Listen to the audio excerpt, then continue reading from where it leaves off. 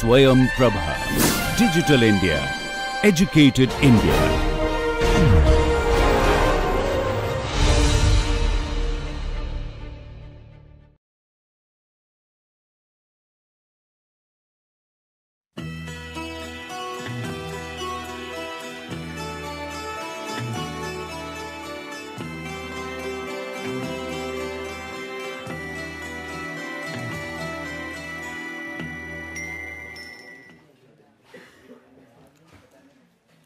Will continue our discussion with exact solutions of the Navier-Stokes equations.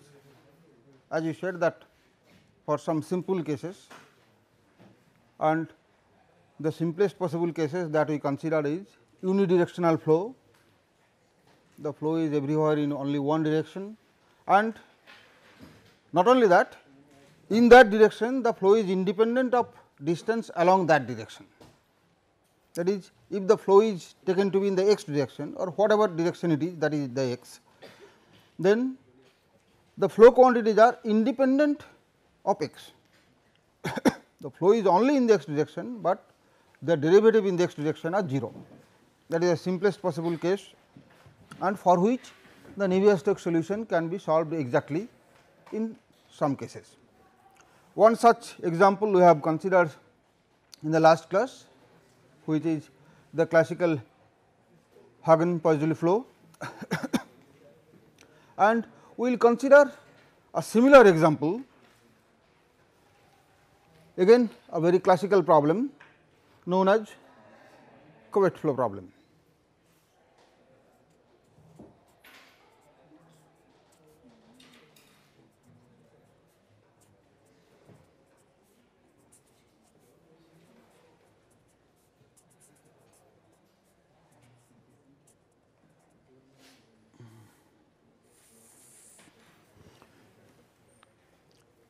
The classical Couette flow problem is like this that imagine you have two infinite flat plate and the fluid is flowing between those two plates. You have two infinite flat plate and the fluid is moving between those two plates. How the fluid is moving? The fluid is made to move by moving one of the plate in one particular direction.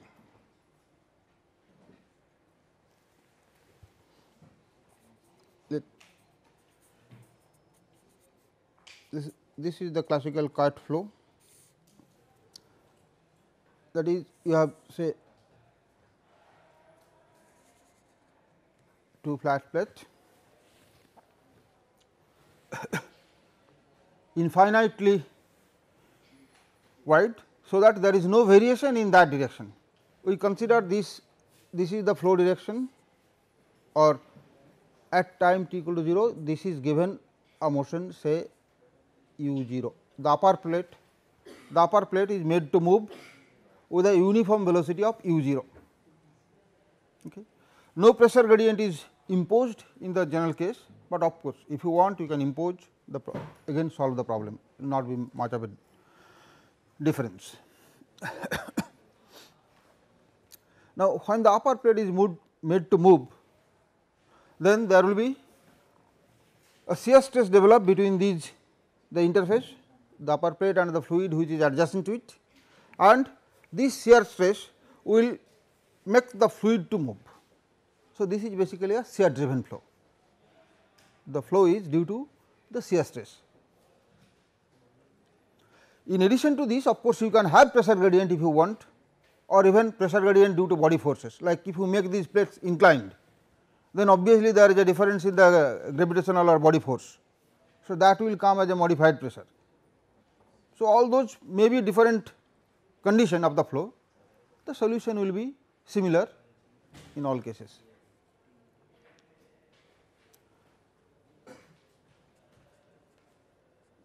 This will say the x direction and this will take let us say the y direction and the z direction is along the width of the plate in which in which the plate is infinite. So, that there is no variation in the z direction. So, what will be the governing equation this for this problem? We will consider steady flow that is the flow has been allowed to settle down. We are not considering the situation just when the plate has started moving. Saying that the plate is moving for some time. So, that finally, nothing is no, no more change with time. When the flow starts of course, it will change with time, but then one time some time will reach when there will be no further change with time. The problem will reach to a steady state. We will consider that the problem has reached to a steady state, no more change in time. So, for the steady flow what are the governing equation in this case?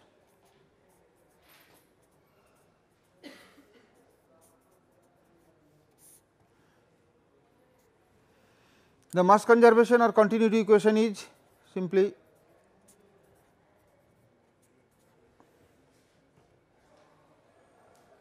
this is of course remember we are considering only incompressible flow.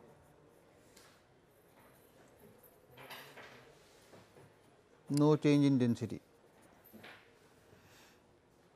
What will happen to the Navier-Stokes equation? We have seen that for this type of flow where the flow is unidirectional and the flow in the direction of motion is independent of that direction that is only u component of velocity is present and u is independent of x. The Navier-Stokes equation become du dt plus u du dx.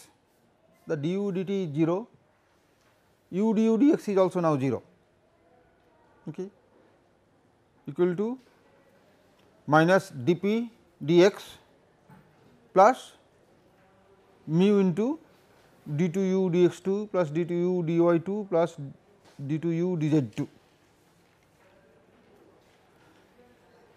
For this case the way we have taken dp dx is 0. We are considering no pressure gradient by pressure we are meaning modified pressure.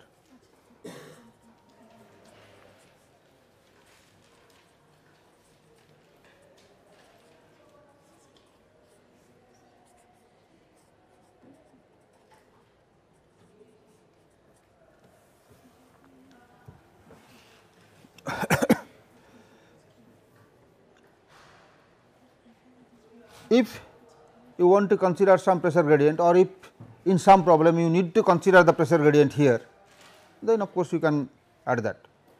So, without the pressure gradient what will happen to the Navier-Stokes equation?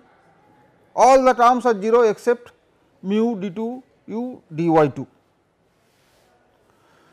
So, this equation simply becomes mu d 2 u dy 2 is 0.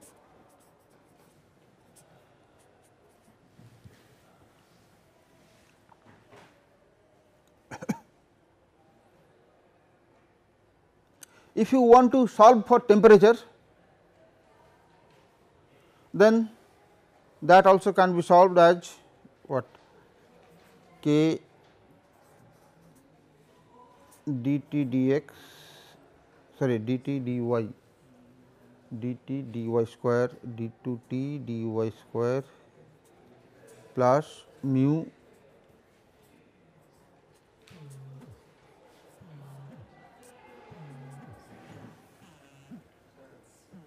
sorry. Yes? Oh. Sorry sorry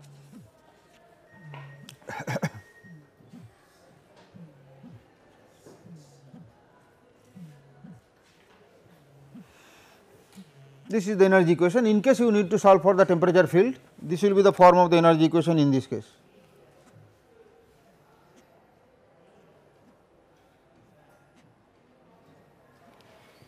পরে phone করবো হুম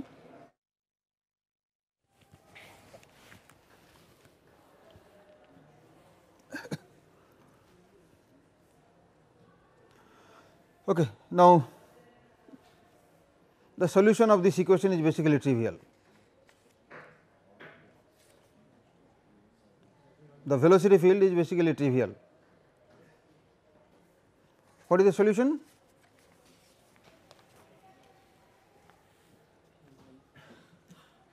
Second derivative is 0. that means the velocity profile is linear, velocity variation is, linear u equal to a y plus b. The constants are to be determined using the boundary condition in this case. What are the boundary conditions? Okay, we can apply the no slip boundary condition on the two walls. On the two walls that there will be no relative velocity between the fluid and the solid at the interface. So, at y equal to minus h by 2 that is the lower wall u is 0 and y equal to plus h by 2 if we consider the distance h this distance let us take.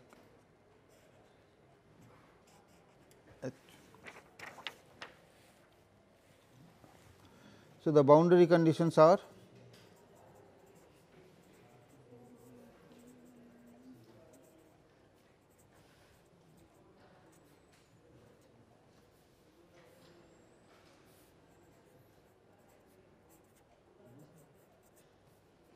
no slip boundary condition u at y equal to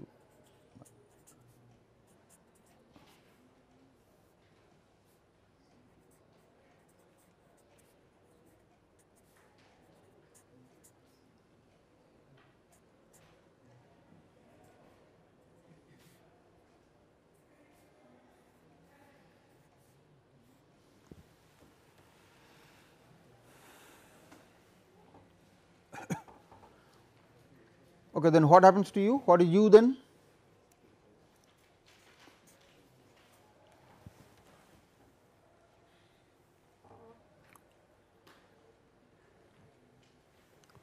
u equal to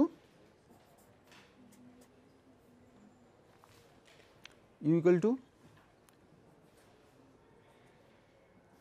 is it u 0 by 2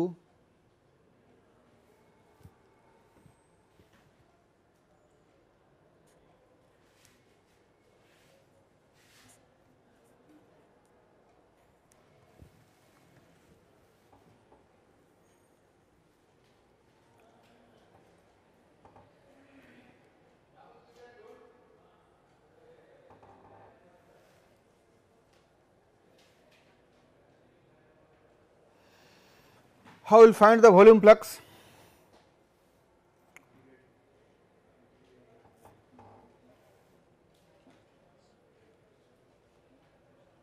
Volume flux is flow velocity multiplied by the some area.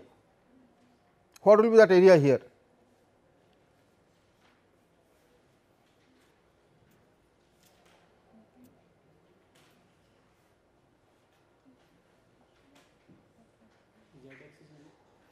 Yeah z axis is infinite. So, in case of infinite dimension in one size all the quantity with respect to that dimension is taken as unit basis. Okay. So, in this case volume flux per unit width volume flux per unit width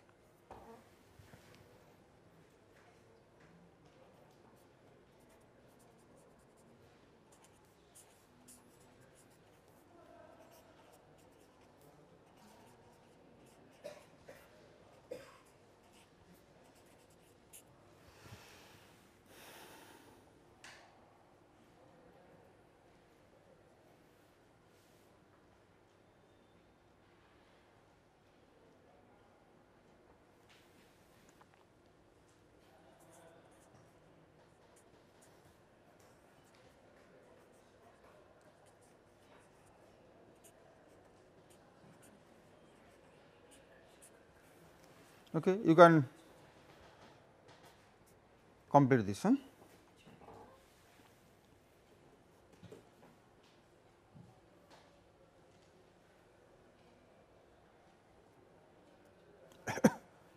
How much it will come? I have not calculated.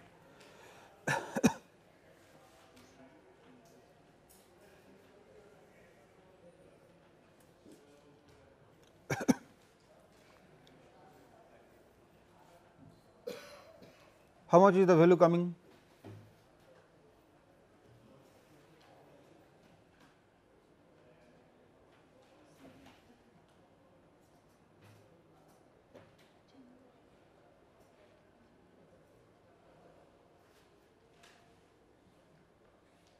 Yes.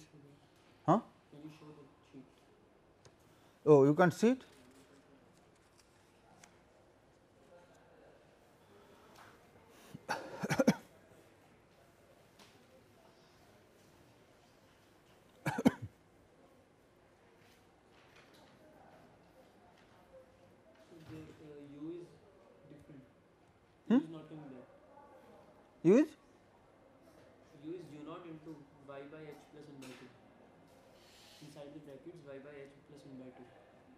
Y by h plus 1 by 2. plus 1 by 2. Yeah, in the brackets. I mean say that uh, this is not E 0 by 2 Yes, sir. Sir, in that case, that is 2 by h.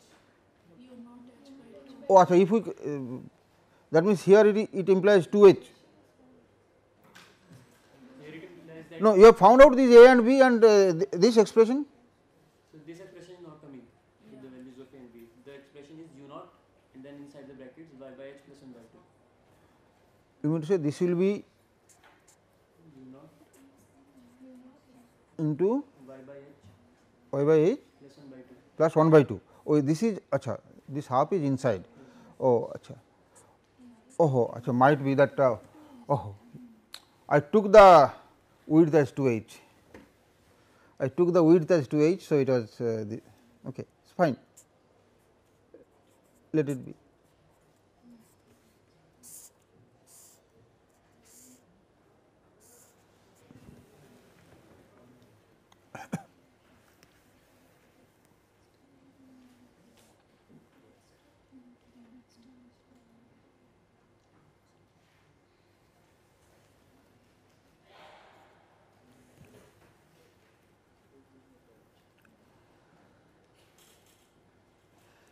In my calculation I took that 2 h. So, the mm, these are y equal to minus h and y equal to plus h.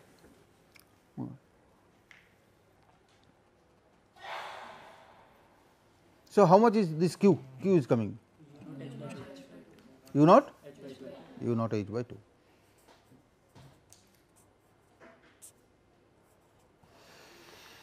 This expression also would have come simpler if would have taken 2 h, it would have come only u naught h. Anyway, the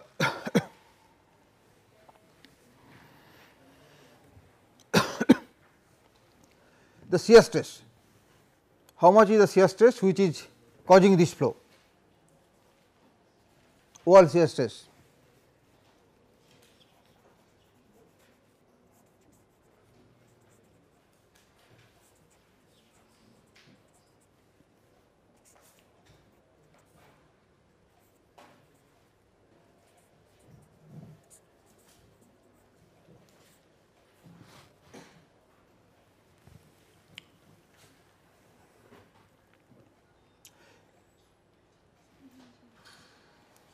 Can find it in any of the plate.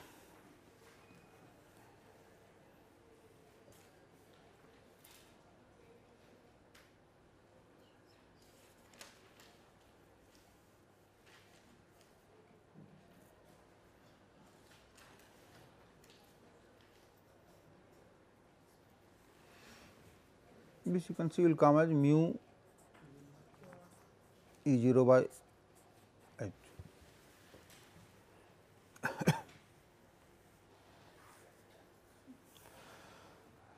and the skin friction coefficient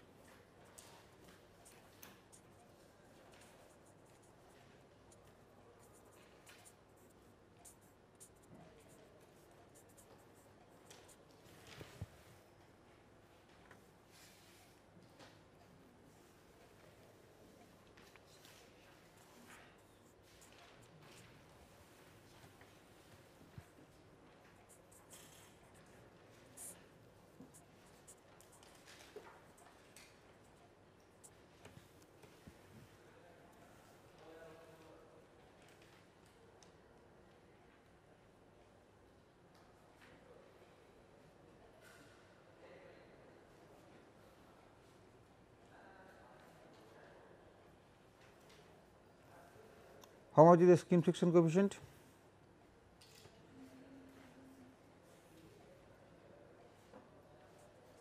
mu y rho u 0 h by 2.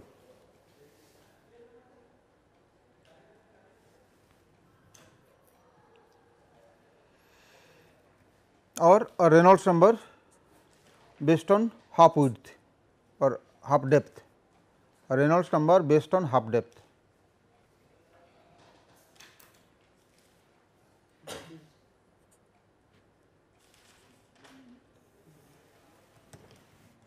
in the definition of skin friction coefficient, the denominator that that is u naught or u bar. See this uh, in the last problem in the Hagen-Poiseuille flow problem that was defined as the average of the velocity. Okay. In this case it is taken as the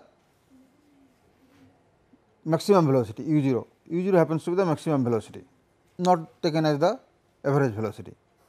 So, this velocity or what like in the definition of this Reynolds number you will see that quite often we will choose different type of velocity different type of length. Okay. depending upon which is the most characteristics of the particular problem.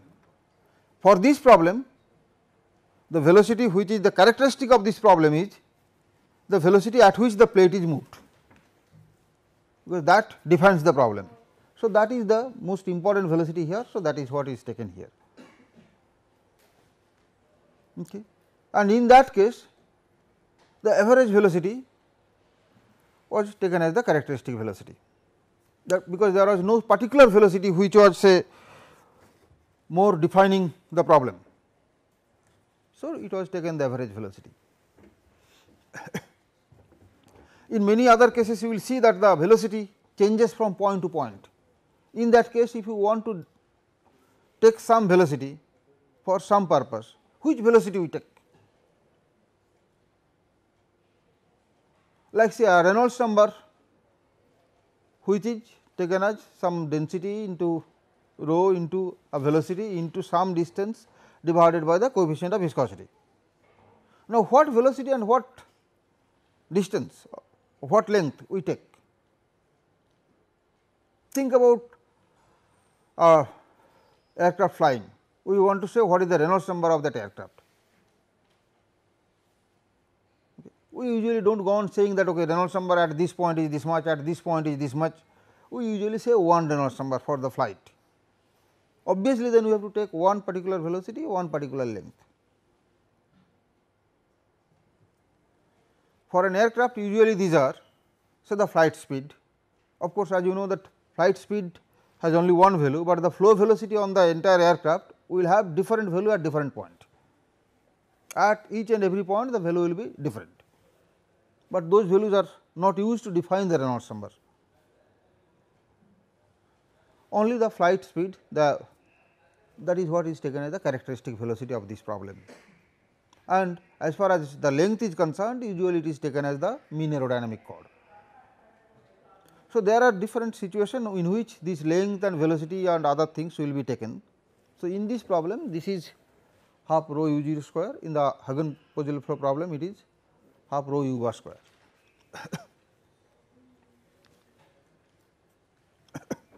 How much energy is lost that is the dissipation.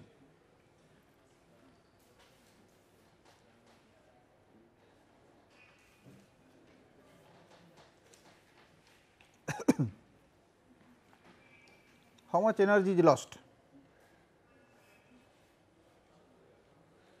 Dissipation as we have talked earlier is the work done by the shear force against that shearing motion and it is one way energy transfer. Part of the mechanical or useful energy is lost in that process that is what is dissipation. For the last problem also we found out what is the dissipation. Here also we have the dissipation term mu du dy square, the term which is present in the energy equation.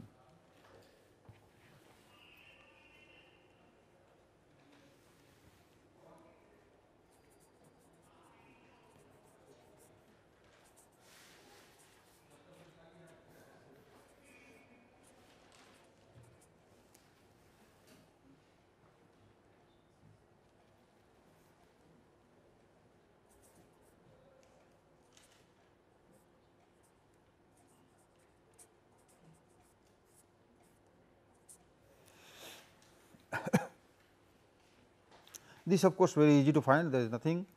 Once you get the value you can substitute it in that energy equation and solve for T. You can see that the solution of T will become quite simple.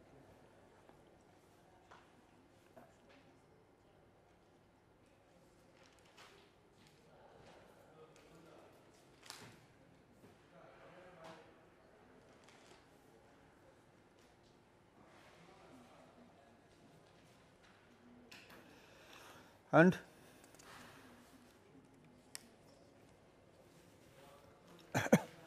We will not uh, go for finding the temperature. That you can do there is nothing in it. Once you get this you can put it in that equation k d 2 dy square equal to this much. And solve for t. And again that t will contain two unknown coefficient which again you can find by satisfying the boundary condition boundary condition in this case may be quite different.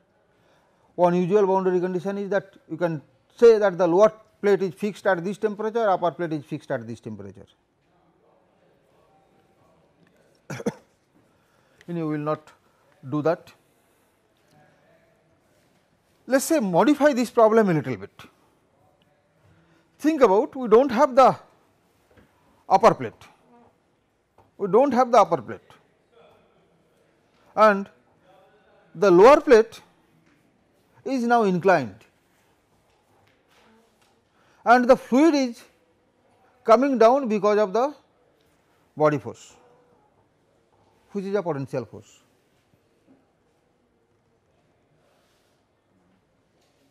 Can you solve the problem then?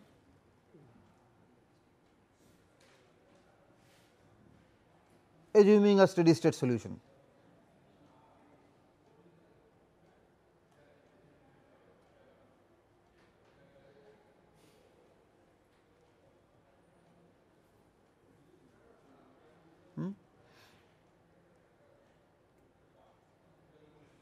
Okay, let us tell me what will be the change in the equation.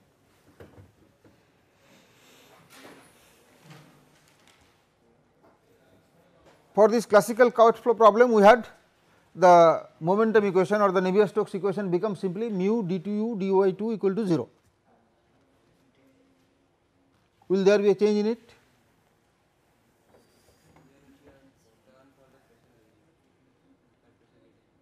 There will be a term for the pressure gradient and can you say what will be that pressure gradient?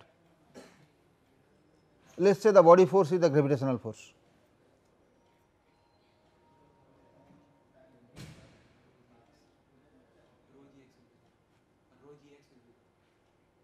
Rho g x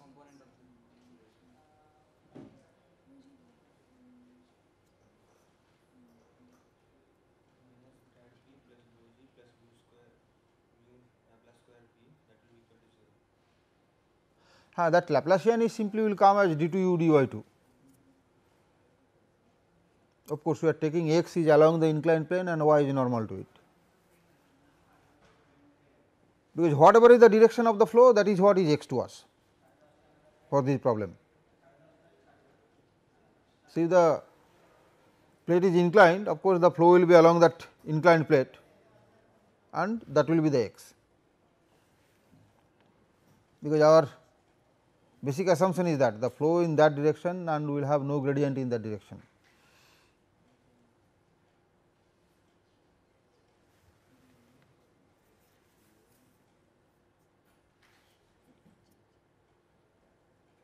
Okay. Let us hope you can solve this problem, you can find what will be the appropriate pressure gradient in the x direction. In this case the pressure gradient is just because of the gravitational force that is the modified pressure only, no actual pressure gradient. okay. We will move to a third problem. This third problem of course, we will later on come back to it again, but this time we will consider because it has a very special importance to us subsequently and would like to have this consideration here. Let us consider we have a flat plate and again for simplicity consider this is infinite in one direction. Again let us say it is infinite in the z direction and x is along the plate and the y is normal to it. Let us say the fluid this plate is immersed in a fluid, then suddenly the plate is moved with a speed u 0. Then what will happen to the fluid? It is quite obvious that the fluid which is adjacent to the plate will experience a shear stress and will start moving with the plate. Now, as time progresses the shear stress or the effect of the shear stress penetrate deep within the fluid and after some time a layer of fluid will move along with the plate. It is quite obvious that as time progresses the thickness of the fluid which is moving with the plate will increase. If we consider that time change. This is also another problem basic problem is again same that the fluid velocity is only in one particular direction in which the plate is moving okay. and in that direction there will be no gradient of the fluid. So, a suddenly moved plate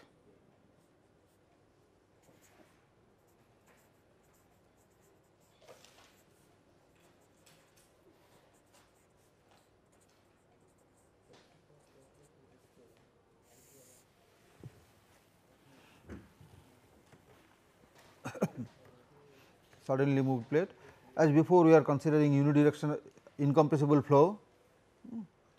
So, unless we mention now we will always consider incompressible flow. Okay.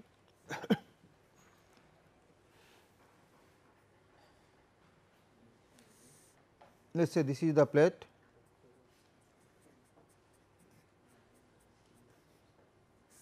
moved suddenly at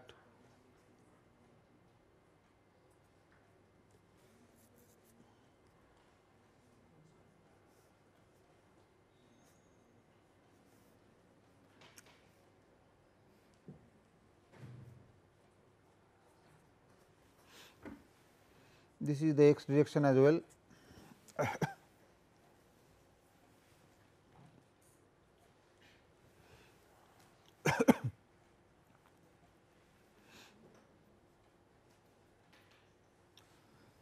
what will be the governing equation of this case? Continuity equation we need not write that is simply du dx equal to 0. So, there is no point in writing it and the momentum equation is rho into du dt. Once again we will consider no pressure gradient is imposed, no pressure gradient is imposed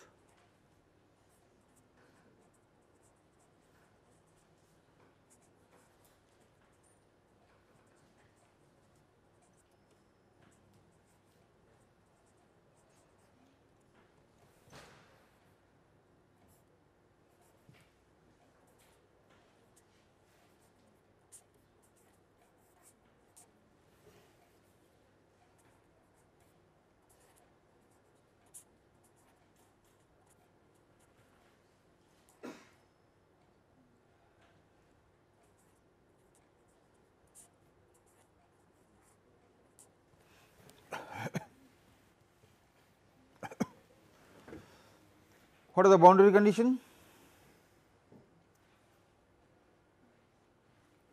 What is the boundary condition?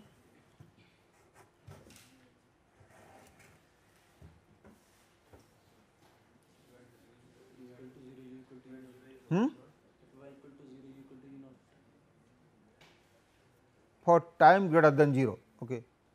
For time greater than 0, you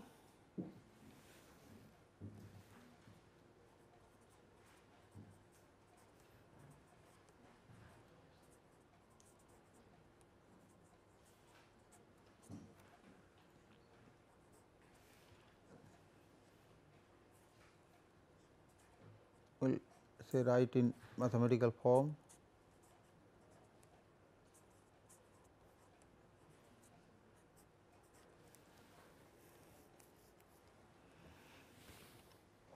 We are calling that is the time t equal to 0 when the plate is moved suddenly at t equal to 0 the plate is given a sudden motion.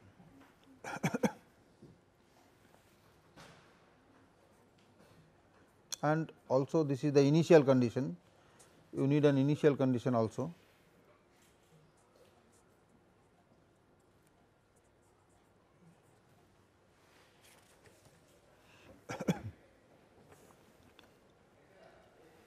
of course, why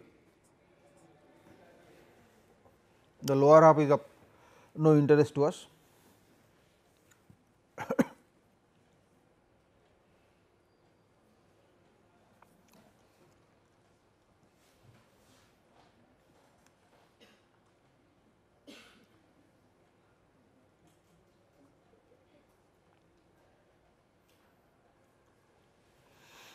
We can modify this problem a little bit that is this u or we can divide this equation by u 0 okay divide this equation by u 0 and made this boundary condition as 1 instead of 1 and u by u 0 we can treat as the variable.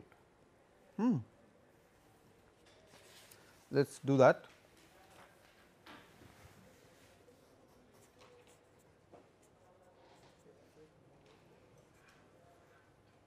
Call it u prime.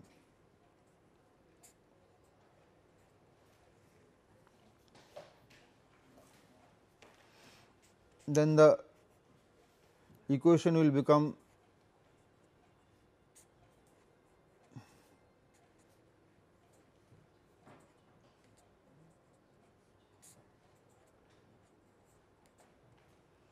and the boundary condition will become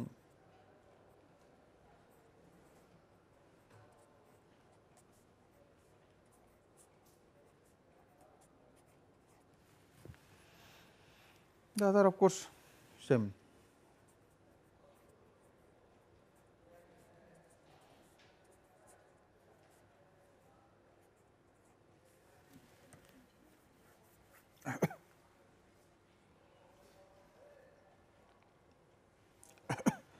what is the solution of this equation? Have you solved this equation?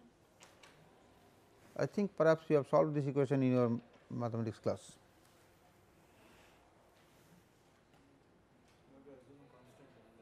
Hmm? Both equal to some constant. Okay.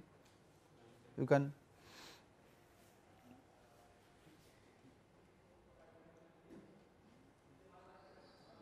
but why should you assume both equal to constant?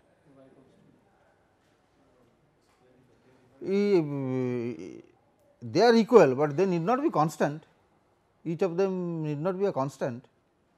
Why should they be constant? I mean in general in some particular case it may be that is a different matter, but in general you cannot assume them to be constant. I mean what is the uh, logic behind it that you are assuming them constant. Huh.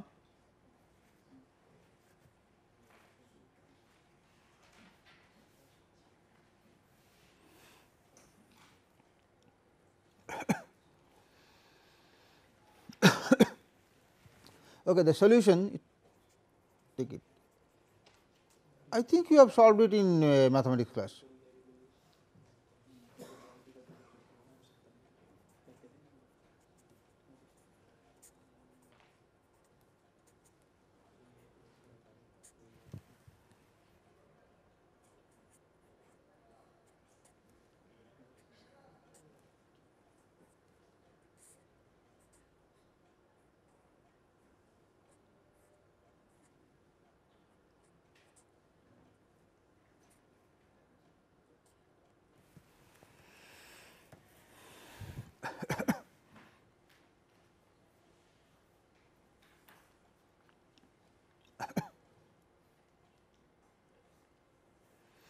this is also called ERFC.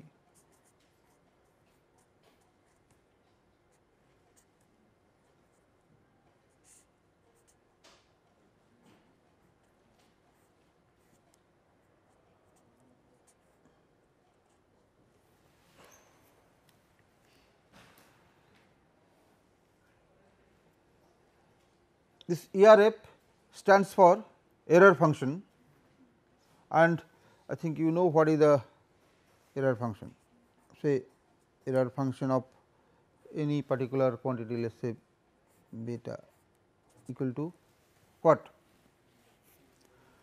2 by root pi into 0 to beta e to the power minus x square dx. That is what is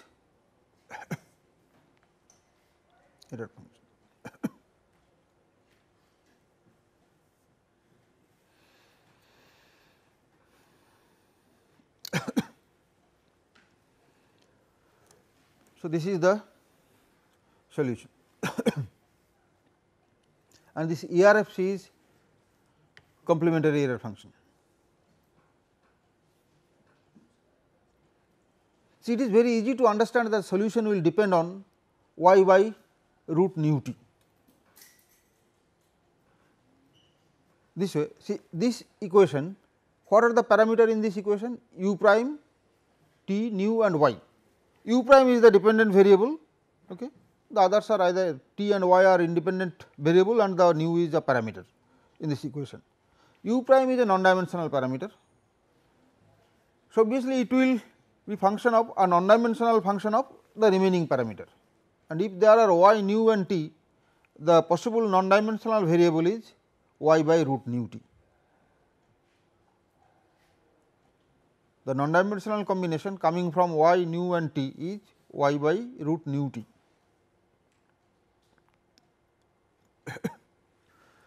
so, it is quite easy to understand that it will be a function the solution will be function of y by root nu t or u prime will be a function of y by root nu t as it so happens it is function of y by 2 root nu t.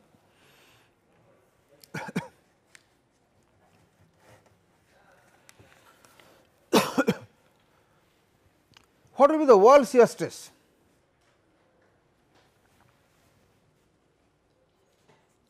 This is very important. Wall shear stress tau w is mu du dy at y equal to 0.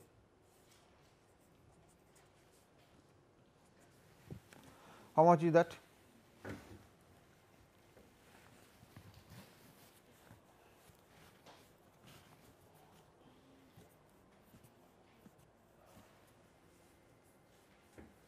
This will be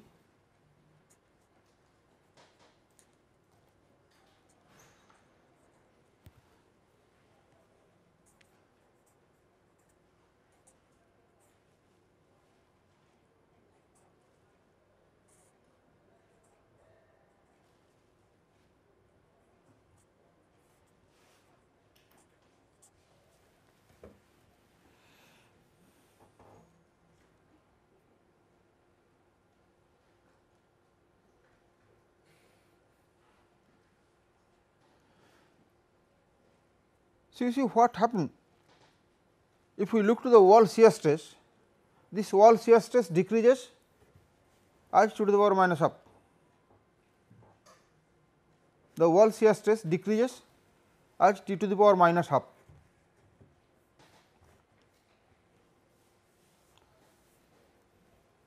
Can you say why the wall shear stress is decreasing with time?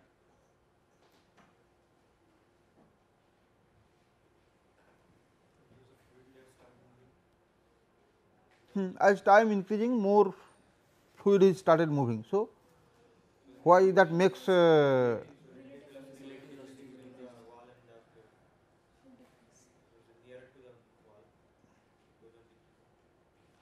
okay. in terms of uh, say um, okay let us say this is think it this way this is a two dimensional flow what is the um, vorticity in this case?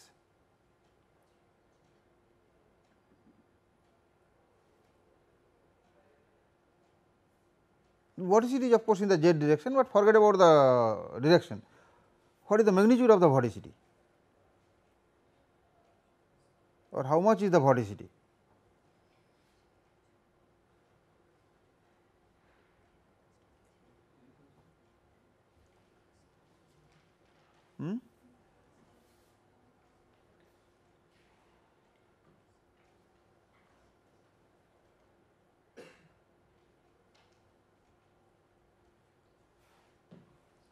Dv dx minus du dy.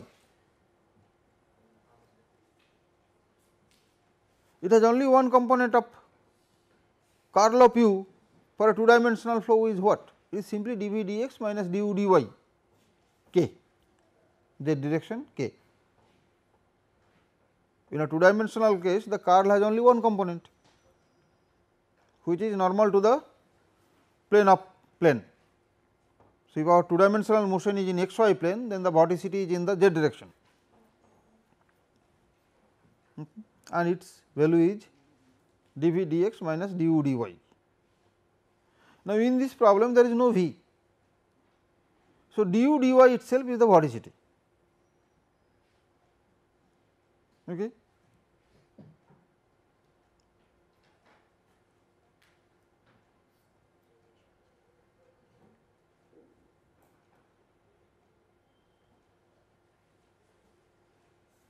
So, what you are calling velocity gradient or shear stress that is also can be called as the vorticity. Now, we know that vorticity what happens that vorticity first of all it can convect with the flow, it is diffused by viscous action. And it might have some redistribution due to stretching and deformation effect looking to that forget about that uh, stretching or deform in two dimensional case that stretching or deformation is 0. In two dimensional case that stretching or deformation term cannot be present. So, that is 0. So, what remains is that vorticity can either be convected and can be diffused by viscous action.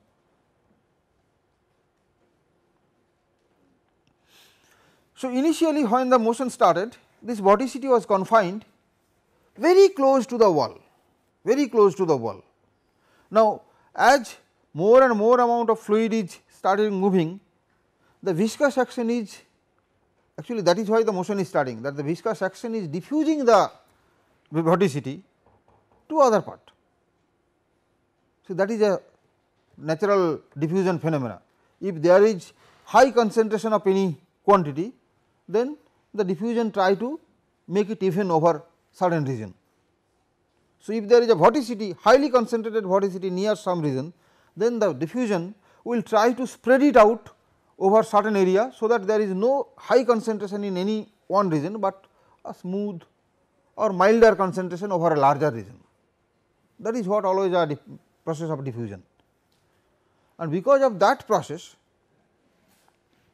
this vorticity is being diffused to other part and consequently the fluid which is started moving along with it is also coming under that vorticity or rotation rotational motion.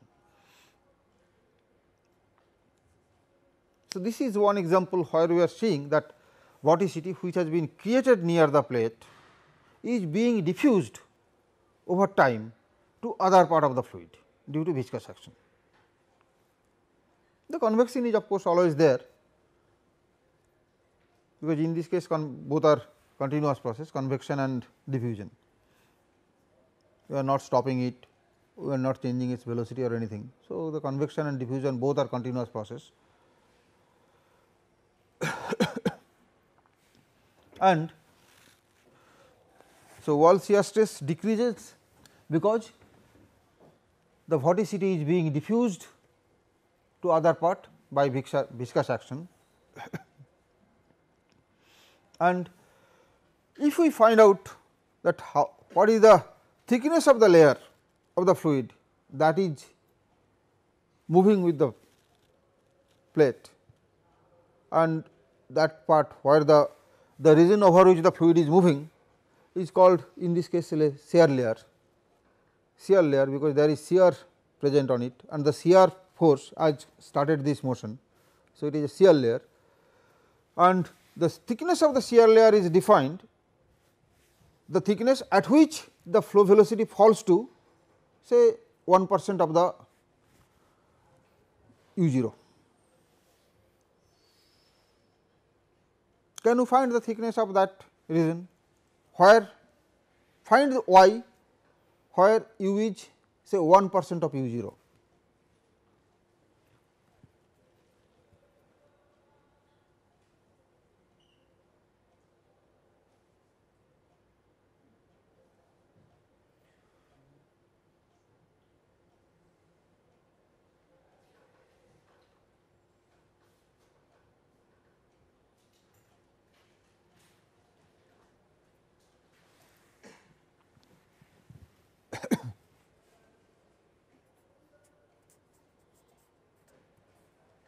So, find y where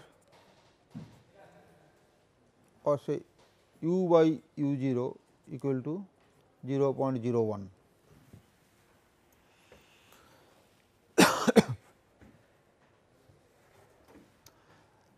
this will this is called the shear layer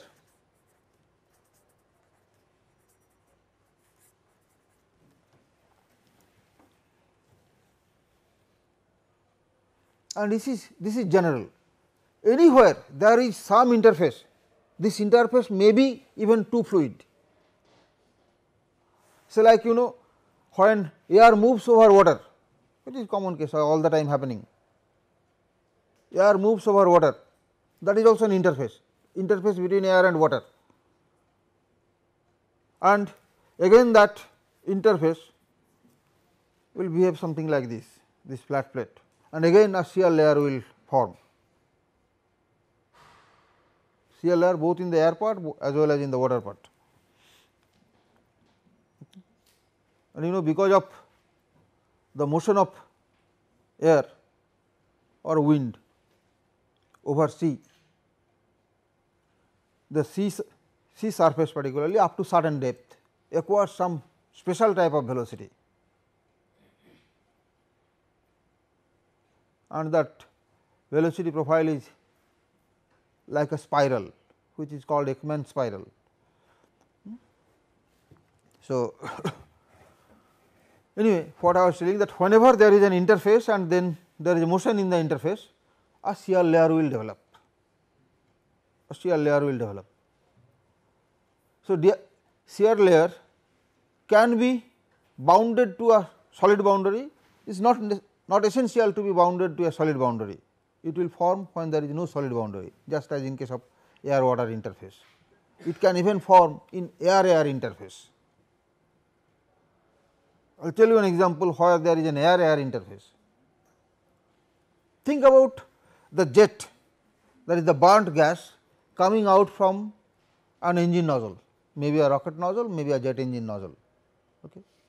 That is air a very small amount of hydrocarbon which does not change it to change it from air that is still air. It comes out and mixes with the atmosphere. The atmospheric air is more or less at rest, this air coming from the jet is at very high speed. So, that interface is again an inter this air and this air which is coming out as a jet at a high speed is different from the air which is at rest and the surface between that divides these two two air is again an interface. So, again in, in that interface there will shear layer develop. Okay. So, whenever there is some interface a shear layer will always develop and the shear layer means the flow is rotational there is vorticity in it. And the thickness over which this vorticity spreads of course, it spreads to be precise theoretically to infinite, but it is taken that by which this distance something like this depending upon if it is in this case we are calling it 1 percent because the we are moving the plate. So, gradually the velocity is decreasing. So, where it will become 1 percent that is what is thickness. If we take it the other way that the plate is fixed and the fluid is moving suddenly. Okay. Then of course, at the interface the plate is stationary at that point there will be no velocity and then gradually it will increase. In that case we will call it where the velocity has reached 99 percent, where the velocity has reached 99 percent. So, depending upon the situation either 1 percent or 99 percent that part is usually defined as the shear layer thickness. So, this is the shear layer thickness this this value of y is called shear layer thickness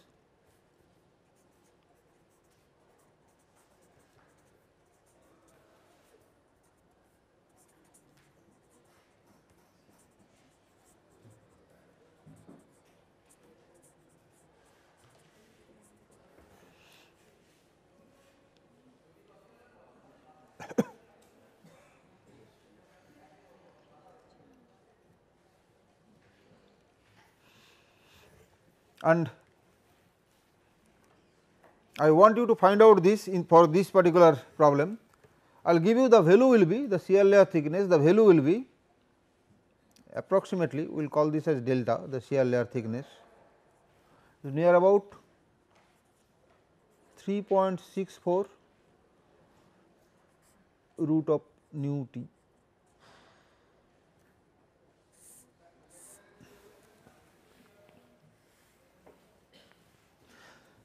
So, it is increasing with t to the power half.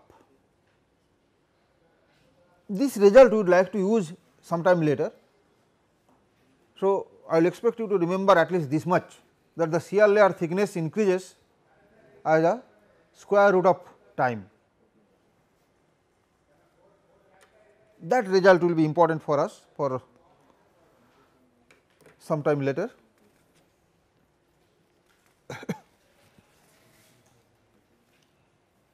Anyway, try to find the shear layer thickness and okay, if you do not get it, we will do it